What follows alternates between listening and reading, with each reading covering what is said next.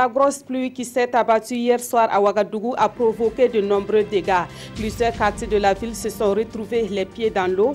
Des grosses perturbations ont également été observées dans la circulation routière.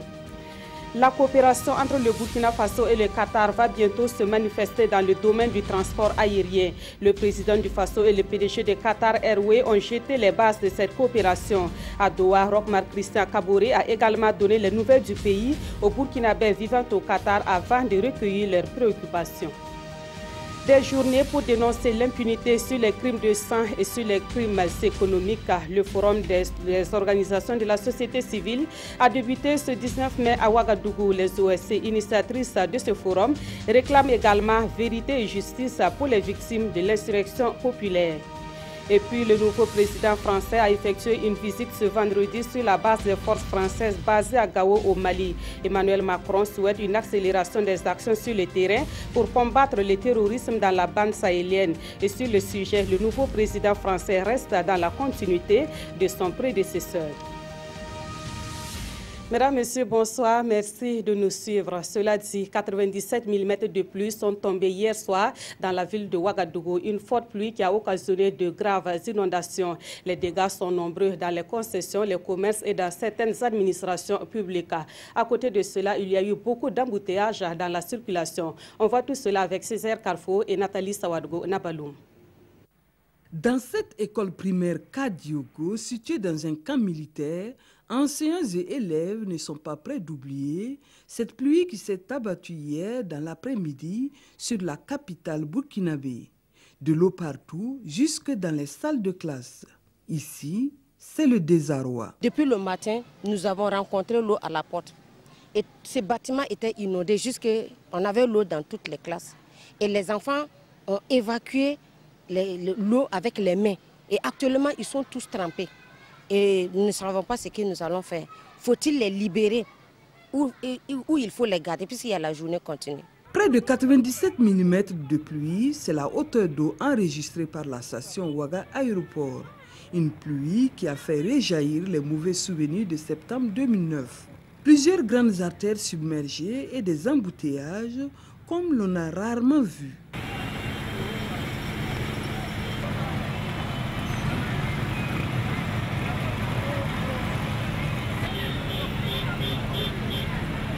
Les eaux se sont également engouffrées dans des concessions et des commerces. Pour l'heure, aucun bilan officiel. Mais une chose est sûre, les dégâts sont importants. La saison de pluie ne fait que commencer. Intéressons-nous à présent au voyage du président du Faso au Qatar. À Doha, Rockmar Christian Kaboré a accordé une audience au PDG de Qatar Airways. Au menu des échanges à la facilitation des voyages au Burkina Faso et la coopération entre, Qatar, entre Airways et la compagnie Air Burkina qui vient d'être rétrocédée à l'État burkinabé. On fait le point avec nos envoyés spéciaux Yacouba Gamene et Pascal Kane. C'était l'une des principales préoccupations des Burkinabés vivant au Qatar. Ils ont du mal à rentrer au pays car il n'y a pas de ligne de Qatar Airways sur Ouagadougou, ce qui fait de la capitale burkinabé la destination la plus chère de la sous-région. Une situation qui est en passe d'être résolue. À l'issue de cette audience avec le président du Faso, Akbar El Bekir annonce que bientôt sa compagnie desservira Ouagadougou via Abidjan. J'ai été très satisfait de la rencontre entre moi et son Excellence M. Roch Christian Caboret, le président du FASO. Dans les jours à venir, nous allons ouvrir une ligne sur Ouagadougou via Abidjan. L'autre point est que j'ai pris des initiatives pour envoyer une équipe technique à Ouagadougou pour étudier le marché et la possibilité de collaboration avec Air Burkina. Voilà qui va soulager les Burkinabés qui désirent rentrer au pays. Mais Rockma Christian Caboret veut aller plus loin. Au cours de l'audience, le président du FASO a invité la compagnie Qatari à étudier la possibilité de coopération avec la compagnie nationale Air Burkina rétrocédée à l'État burkinabé. Et comme à son habitude, quand il voyage, le président du Faso a échangé avec la communauté burkinabé vivante au Qatar. Au Burkinabé de Qatar, Rokmar Christian Kabouré a fait le point de la situation sociopolitique et économique du pays. À leur tour, les compatriotes ont exposé au chef de l'État les difficultés auxquelles ils sont confrontés dans leur pays d'accueil. Des détails avec Yacouba Gamine et Pascal Kani. C'est un moment de communion entre Burkinabés vivant au Qatar et les présidents du Faso. Ils sont environ 500 dans ces pays du Golfe. Ils exercent essentiellement dans le domaine du bâtiment. Mais il y a aussi des Burkinabés dans l'administration publique qatari, des étudiants et des sportifs. Cette visite du président du Faso est donc une occasion pour eux d'avoir des nouvelles du pays par la voix des autorités. Roch Marc Christian Kabouri a donc fait le tour de l'actualité nationale marquée par les différentes élections et la relance économique du pays. Globalement, le Burkina Faso se bat contre l'adversité. Le Burkina Faso se bat et avance malgré les difficultés. nous sommes conscients que les difficultés ne peuvent pas être permanentes. Il y aura un moment où nous allons pouvoir aplanir l'ensemble de ces entraves qui bloquent un peu notre route et que nous pourrons marcher allègrement vers le développement et le bien-être de nos populations. Puis, c'est le tour des Burkinabés du Qatar de poser leurs préoccupations, car dans ces pays où tout semble être beau, il y a bien des difficultés. Certains Burkinabés se sont laissés atterrir par les rêves qataris, mais à l'arrivée, les choses ne sont pas toujours comme annoncé.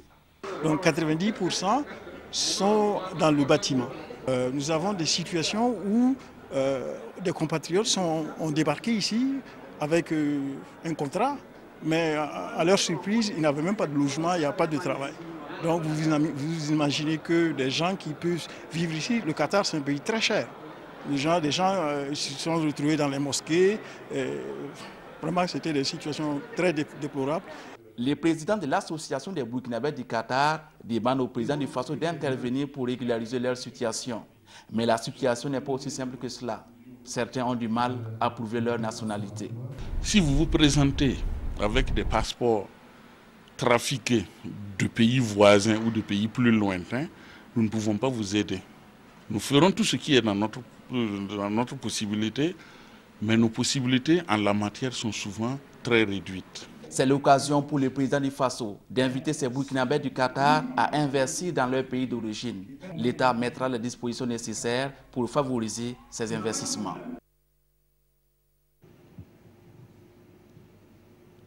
Retour au Burkina Faso et direction l'Assemblée nationale qui a adopté hier deux projets de loi. Le premier projet de loi concerne le secteur de l'or et des autres substances précieuses. Quant au second projet de loi, il est relatif au cours des collectivités territoriales au Burkina Faso. Avec l'adoption de ces projets de loi, l'État pourra mieux tirer profit du secteur minier et assurer un meilleur fonctionnement des collectivités territoriales. Le résumé de la plénière avec Bouma Ernest Nebi. Votée à l'unanimité par les députés de l'Assemblée nationale, la loi portant organisation de la commercialisation de l'or et des autres substances précieuses permettra un meilleur contrôle et une gestion saine du commerce de l'or au Burkina. Elle encadre la commercialisation de l'or produit euh, par les sociétés minières et renforce donc le contrôle de cette commercialisation. le projet de loi s'appesantit surtout sur le secteur artisanal et semi-mécanisé. Son application va également aider l'État burkinabé à engranger beaucoup de recettes dans le domaine. Nous allons euh, créer, dans le cadre de l'ANEMAS, un certain nombre de conditions favorables pour l'exportation de l'or. Parce qu'en discutant avec nos partenaires, il revient qu'une des raisons, une des causes de la fraude, c'est que les taxes dites à l'exportation sont élevées. La représentation nationale a aussi passé à la loupe le projet de loi portant modification de la loi 055-2004 AN du 21 décembre 2004 portant Code général des collectivités territoriales. Votée à l'unanimité, cette loi rectificative a toute son importance. Elle permettra un meilleur fonctionnement des collectivités territoriales et de combler un vide juridique en cas de dysfonctionnement d'une délégation spéciale. Un autre accident s'est produit hier sur l'axe Ouagadougou-Po aux environs de 18 heures. Cet accident a fait 6 morts et plusieurs blessés, dont 12 dans un état grave. Ces derniers ont été évacués au centre hospitalier universitaire Yalgado Ouedraogo de Ouagadougou. Cet après-midi, une délégation gouvernementale est allée leur rendre visite. On voit cela avec Gérard Sommet, Mariam Daou et Oumou Sissé. Une délégation du gouvernement aux urgences du centre hospitalier universitaire Yalgado Ouedraogo. Objectif soutenir et réconforter les blessés évacués ici suite à l'accident survenu hier dans la soirée sur la route de Pau. au niveau de l'accident, donc, euh, il y a eu euh, en tout six personnes qui sont décédées et 11 personnes qui ont été blessées et qui ont été évacuées.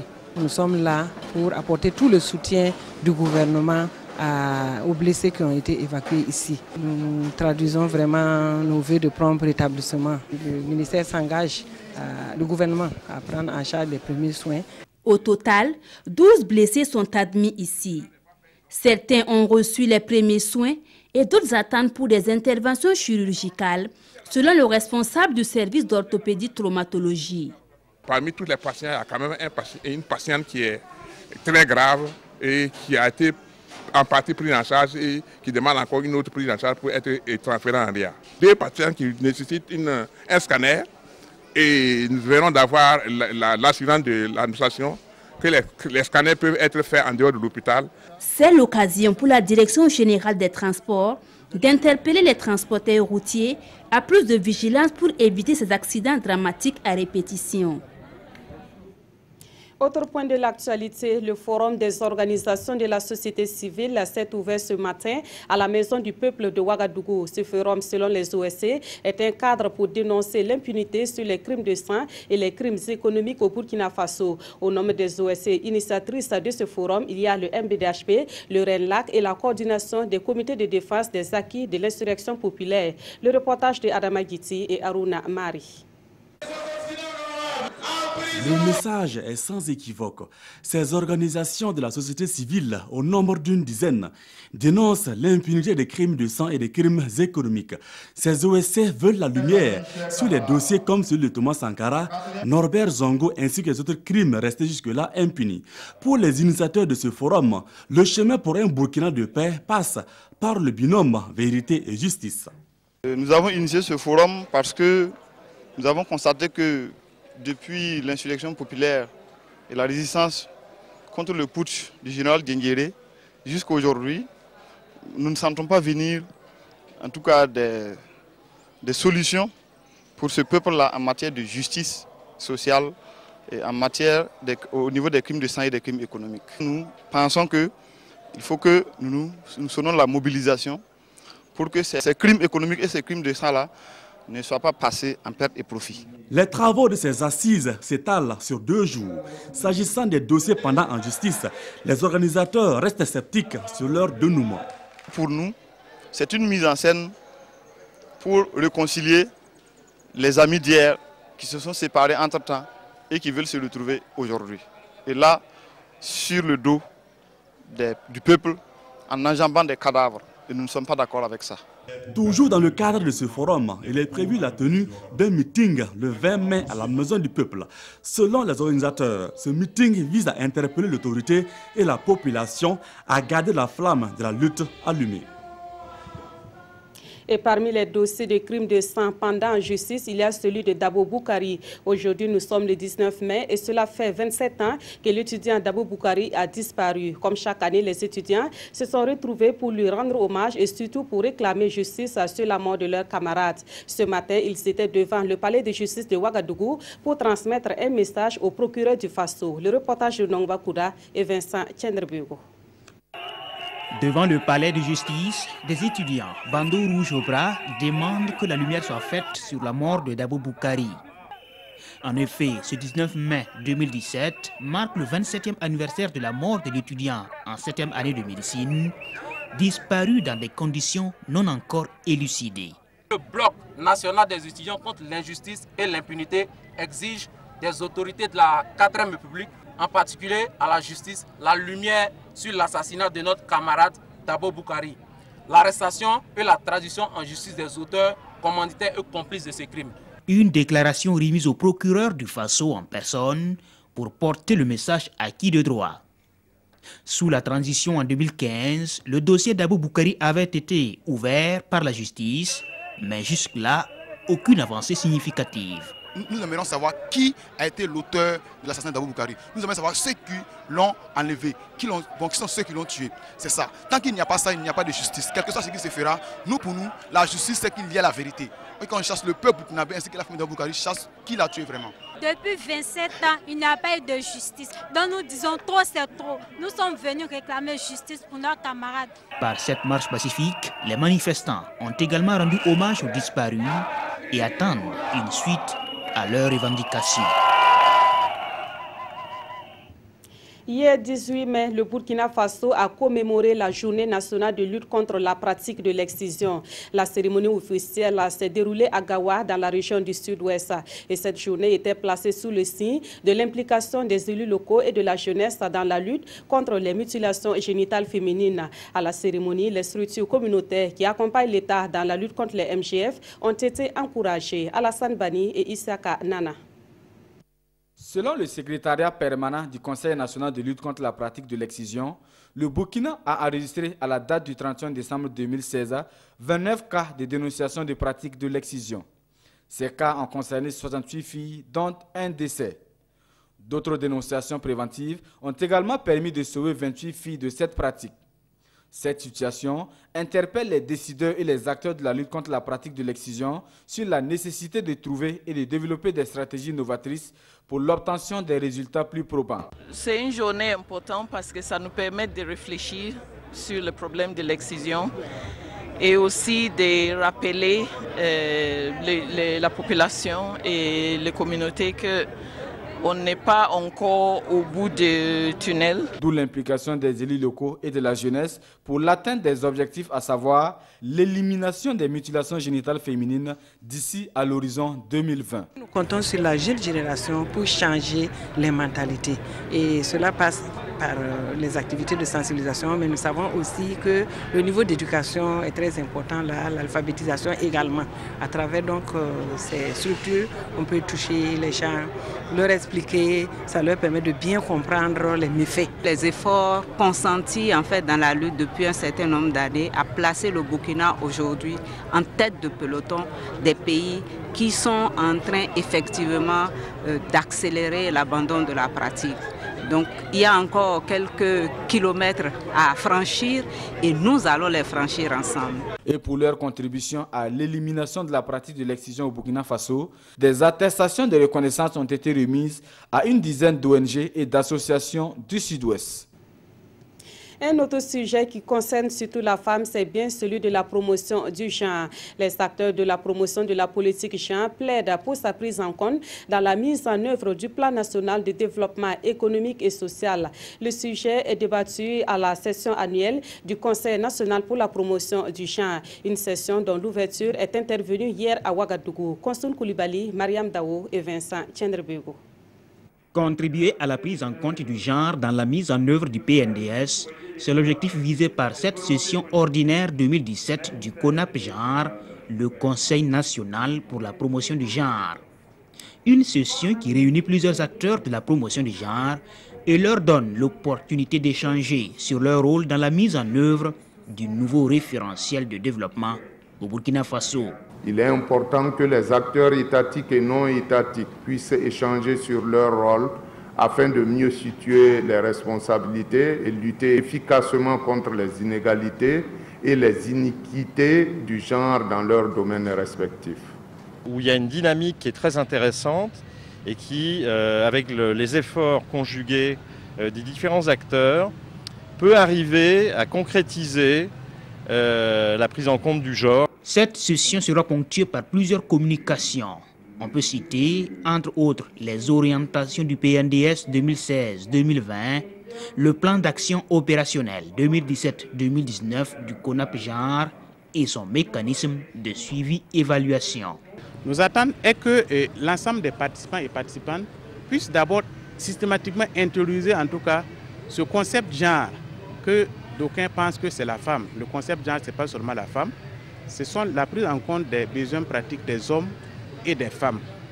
Et dans ce cadre, il va falloir que nous puissions pouvoir comprendre les enjeux liés à la prise en compte du genre dans l'opérationnalisation du PNDS. Créé depuis 2010, le Conseil national pour la promotion du genre est l'instance nationale de décision et d'orientation sur la question du genre au Burkina Faso. Des experts des questions de développement et d'économie de l'Afrique de l'Ouest tiennent également leur session dans la capitale burkinabé. La session a pour thème la mise en œuvre de l'agenda de développement durable 2030 et de l'agenda 2063 en Afrique de l'Ouest, rôle de la planification du développement. Il est attendu de cette session des recommandations pour accélérer la croissance et la transformation économique en Afrique de l'Ouest. Paul David Bambara, Estelle Judith Assorba. C'est une rencontre de haut niveau entre les experts des pays membres de la CEDAO sur les enjeux économiques de l'heure. Il s'agit des agendas 2030 des Nations Unies et 2063 de l'Union africaine, puis de la planification du développement. Tous ces agendas ont un but commun, celui d'améliorer les conditions de vie des populations. À cette 20e session, il est question pour ces experts de discuter des progrès réalisés et de mettre en cohérence les orientations contenues dans ces agendas. Il est nécessaire pour les États membres, lorsqu'ils développent leur plan national, de pouvoir mettre en cohérence, domestiquer ces deux agendas internationaux importants que sont l'agenda 2063 de l'Union africaine et l'agenda 2030 des Nations unies, qui soient impliqués et ressortis dans leurs plans nationaux de développement. Le Sénégal, la Côte d'Ivoire, la Guinée et le Burkina Faso ont déjà leur plan de développement. Il s'agira pour ces pays de partager leurs expériences avec les pays qui veulent se lancer dans cet exercice. Ces experts fondent l'espoir qu'au sortir de ces 48 heures d'échange, les recommandations qui en découleront seront de nature à appuyer les efforts des pays de cet espace vers la transformation structurelle et l'émergence économique et sociale au bénéfice des populations.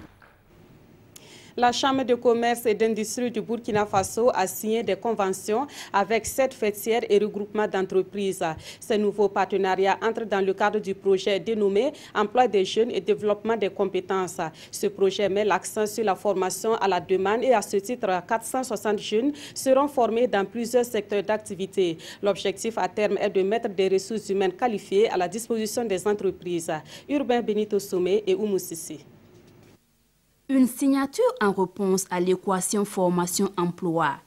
Et à travers cette convention, la Chambre de commerce et d'industrie du Burkina Faso s'engage à former 460 jeunes dans les domaines du bâtiment et travaux publics, de l'élevage, de l'agroalimentaire, de l'agro-silvopastoral et de la conduite routière. Cette formation entre dans le cadre du projet Emploi des jeunes et développement des compétences à travers le volet formation à la demande des entreprises. La Chambre de commerce aujourd'hui a, dans ses attributions, le volet formation des compétences et formation professionnelle. Donc c'est pourquoi euh, nous, avec la Banque mondiale, avec le ministère de, de la formation et de l'insertion professionnelle, nous avons été chargés donc la mise en œuvre de ce volet. Ces formations qui alterneront cours théoriques et pratiques viennent comme une bouffée d'oxygène pour les fêtières et les regroupements d'entreprises. Et malheureusement, la formation intermédiaire qualifiante permettant aux jeunes d'être prêts pour le marché de l'emploi n'existait pas auparavant.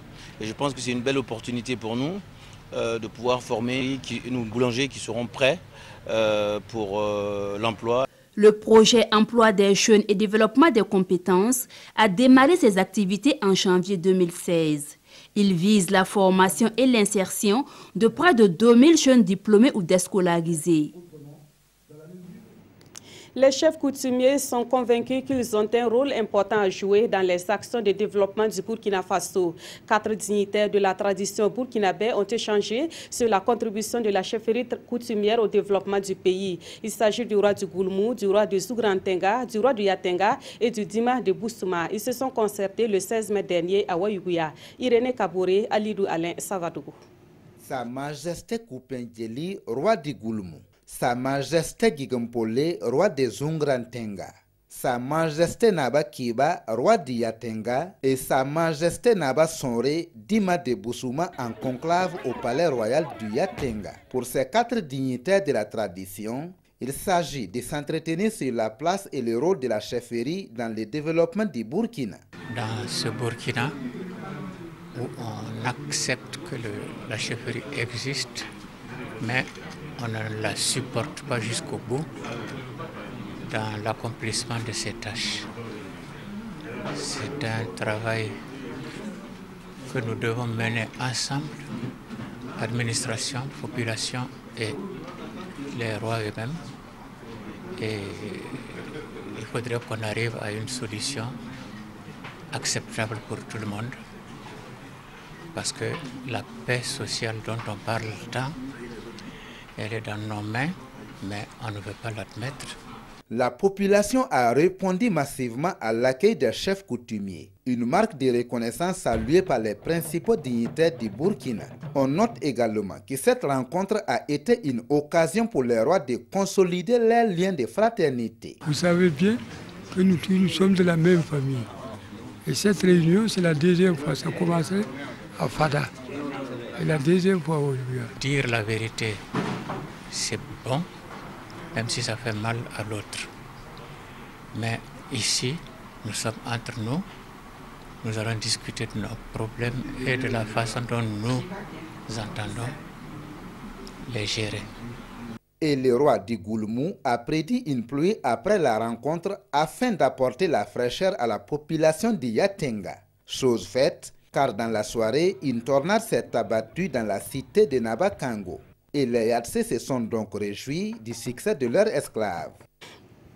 Actualité à l'étranger, le nouveau président français a effectué une visite ce vendredi sur la base des forces françaises basées à Gao au Mali. Emmanuel Macron souhaite une accélération des actions sur le terrain pour combattre le terrorisme dans la bande sahélienne. Pour lui, il faut une forte mobilisation des forces de l'opération Barkhane, une application rapide de l'accord d'Alger et une montée en puissance du G5 Sahel. Le président français reste dans la continuité de son prédécesseur en affichant son engagement à soutenir la lutte contre le terrorisme. Justement, cette visite du nouveau président français au Mali est commentée par les quotidiens de ce vendredi. La question des services payés de la police a également intéressé les journaux du jour. Voici la revue de presse signée Aimé Solange Guigma. En question dans l'apparition du jour, les incohérences dans la gestion des services payés de la police nationale. Aujourd'hui, au Faso note 131 millions de francs CFA versés à 28 personnes durant 14 mois, dont le directeur général de la police qui a reçu plus de 22 millions de francs CFA. Son adjoint 14 millions, le directeur de la sécurité publique 19 millions, le directeur des unités d'intervention 10 millions, ainsi de suite. Pour ce qui est des contrats sans trace, l'observateur Palga note que sur les 408 institutions financières et hôtelières Bénéficiaires de ces services payés, 174 n'ont fait l'objet d'aucun contrat formel. Autant dire la porte ouverte à toutes sortes d'abus, soutient l'OPS. Pour l'UNAPOL, le rapport aurait dû être présenté depuis 2011 à cause de l'injustice dont leurs camarades radiés ont été victimes, précise aujourd'hui au FASO, qui indique par ailleurs que le ministre de la Sécurité, Simon Compaoré, a reconnu que les plaintes des policiers étaient fondées. Mais à l'entendre, précise l'Obs, personne n'aura à rendre gorge.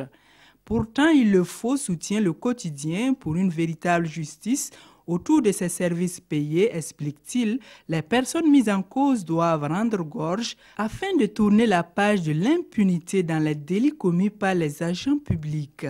Actualité hors de chez nous, Emmanuel Macron au Mali, le bébé hollandais sur les pas de son mentor mentionne l'Obs au moment où sur le théâtre des opérations, on assiste à une recrudescence des actes terroristes. Mais de l'avis du pays, il doit faire plus que Hollande pour pouvoir mettre hors d'état de nuit tous ces malfaiteurs qui veulent jouer les justiciers du désert. Autrement, il y a de fortes chances que l'imbroglio sociopolitique de ce pays en passe de prendre toute la sous-région en otage, survive à son quinquennat. Il est donc prévenu, martèle le pays. Et c'est la fin de ce journal. Merci de l'avoir suivi. L'information revient sur la RTB à 22h30 avec Sanoua Christine Koulibaly. Merci de votre fidélité.